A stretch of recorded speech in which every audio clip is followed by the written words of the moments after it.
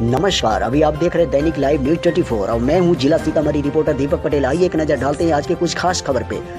मेजरगंज थाना से 20 कदम की दूरी पर गायब किया था अपाचे बाइक। कानून के आँखों में धूल झोंक कर निकलने का किया प्रयास, लेकिन सीसीटीवी कैमरे में हो गया उन चालकों की तस्वीर कैद। कुछ ही देर बीतने के बाद में बाइक वाले ने किया मामले को दर्ज। सीसीटीवी में सर्च करने के बाद में आई तस्वीरें सामने। किस प्रकार से ये बाइक चोरी करके निकलने का प्रयास कर रहे हैं। आइए दिखाते हैं एक तस्वीर to